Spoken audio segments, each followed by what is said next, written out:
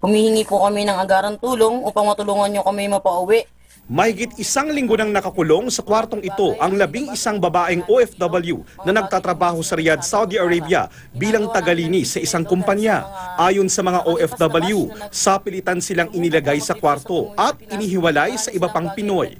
Ikinulong daw sila matapos sabihin sa employer na uuwi na sila sa Pilipinas dahil inaabuso na raw sila. Pinaglilinis daw sila ng mahigit sa dalawang gusali, bagay na labag sa kanilang kontrata. Delayed din daw ang sahod at wala silang halos pahinga.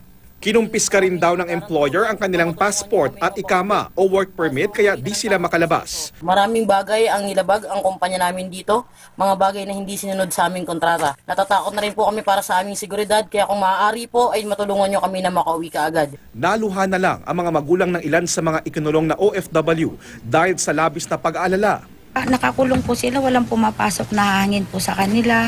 Kahit po yung pinto nila, wala pong makalapit na tao dun sa pinto nila. dalawang anak ko. Nandun silang dalawa. Masakit to. Mag-iisang linggo na ako dito. Wala pa rin pong linaw.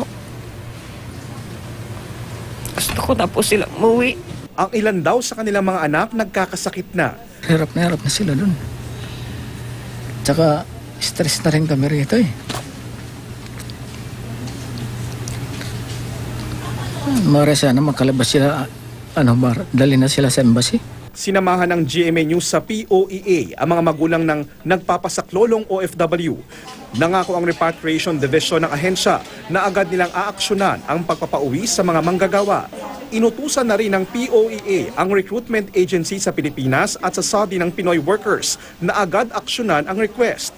Basta gumuwi ng, uh, gusto na umuwi at may valid reason na ma-repatriate sila, they have to be repatriated back to the Philippines.